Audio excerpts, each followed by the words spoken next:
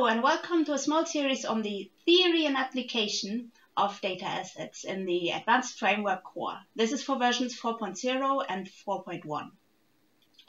Data assets are at the center of a number of important functionalities of the framework, including level management and the controls of the VR pawn. The concept is very basic and they are mentioned frequently, so we decided to provide you with a short introduction which is to be followed up with a selection of use cases. Let's get started. So what is a data asset? It's basically a template pooling information. For each kind of data asset used in the core, we created a primary data asset, or PDA for short, which serves as a template defining which variables are in the data asset. Schematically, the layout works a bit like this. A PDA serves as an empty template defining which variable types comprise the data asset. Each data asset is basically a primary data asset with all its variables filled with content. By the way, Unreal does not distinguish between data assets and primary data assets the way we do it. If you want to refer to a data asset in your code, you must choose primary data asset as variable type. Finally, data assets are assigned to actors or other entities and are referred to for content or for variable or set of variables. For the Advanced Framework Core, we created four kinds of PDA which serve as template to create data assets for four different use cases. Level data assets pool all the information necessary to load a level.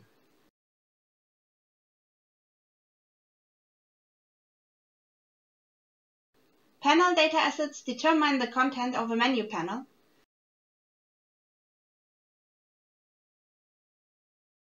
Presets specify the VR pawn's controls.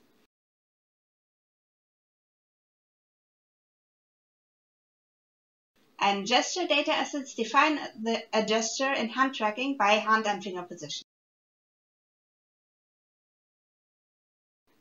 Let's assume you want to create a data asset of any kind. You right-click in the on the content browser in the folder where you want to create it and select Data Asset under Miscellaneous. Next, you are asked to choose the primary data asset. Let's choose Panel for example's sake. Now the file is created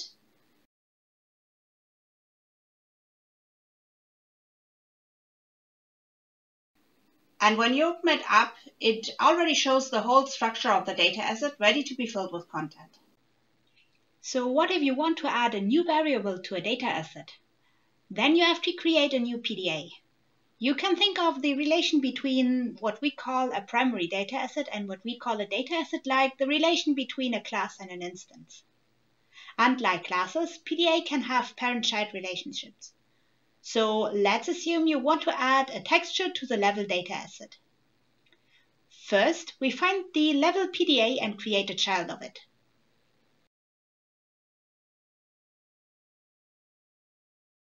Now we open it up. For clarity's sake, I will enable Show Inherited Variables here. You can see it inherits all the variables of its parent. Now let's add the texture variable and include it under Transition.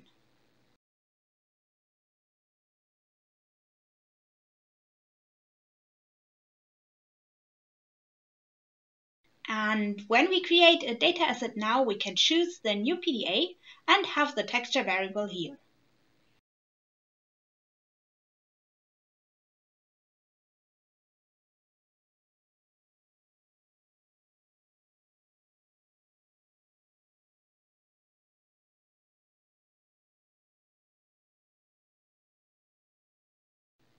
Finally, to ensure that all your data assets are included in your build, you need to register all primary data assets in the project settings. This includes children of PDA, but not normal data assets created using a PDA. So let's open up the project settings and register our child of the level PDA. You find the Asset Manager under the Games section. Here you open Asset Manager and Primary Data Assets to scan. You probably will have a whole list of PDA already. Let's look at one shortly. You see it has a name, a few settings, and most importantly, two references to the PDA, here and here. Now let's add your child PDA, our child PDA.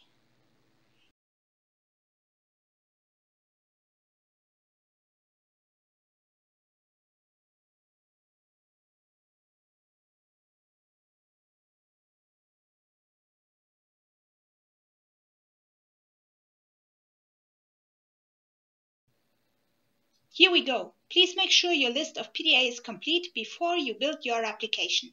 A missing PDA, even if it's a child of a registered parent, can cause lots of problems in the build application.